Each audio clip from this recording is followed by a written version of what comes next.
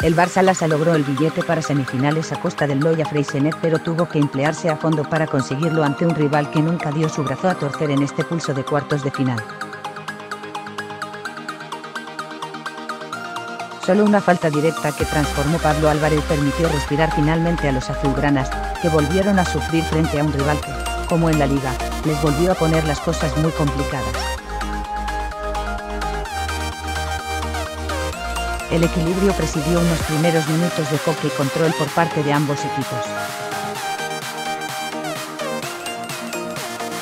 Pero fue la entrada de los jugadores de banquillo la que dio otro aire al Barça Salazar.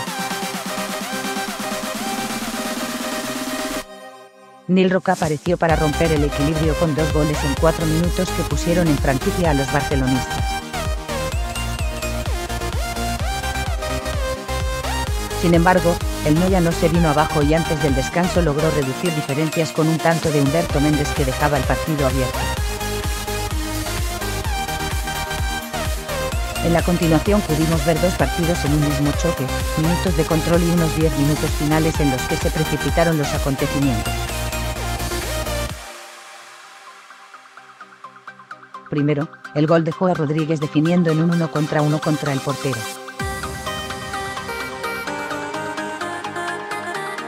A continuación llegó la respuesta del Loya con gol de Aragones en un gran lanzamiento exterior. Luego llegaron los errores en las faltas directas y sendas tarjetas azules que indignaron al Loya. Precisamente, la segunda de ellas propició una falta directa que significaría el 4 a 2 para el Barça. Al final, los de San Sadudni jugaron sin portero para intentar buscar recortar diferencias. Pero el marcador ya no sufrió alteraciones y el Barça Lassa se metió en semifinales. El Caldes será el rival en Recamble y Ser Caldes será el rival del Barça Lassa en las semifinales de esta Copa del Rey. El Caldes logró su billete a costa del Bultrega en un duelo que se decantó en el segundo tiempo tras haberse llegado al descanso sin goles. En la reanudación el Caldes salió con más ambición y supo ser más efectivo de cara a la portería rival obteniendo dos tantos que le ponían en franquicia en el luminoso. El Buntrega intentó recortar diferencias pero ni Gallifa, penalti, ni Ordeic supieron materializar sus opciones. Y tras una tarjeta azul a Leis Molas, el Caldes no desperdició la oportunidad de sentenciar el duelo por medio de Jiménez.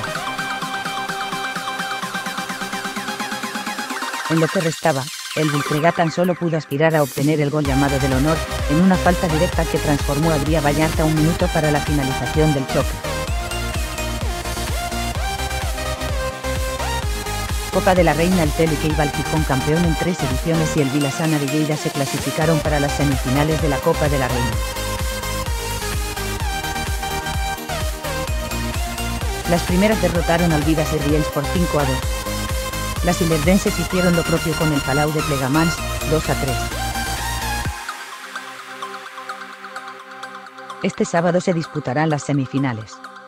La primera la dirimirán el Bultrega y el Sardañola, 11. 12, y dos horas más tarde el Vila Sana y el Teleque Fijón dirimirán la otra plaza para la gran final.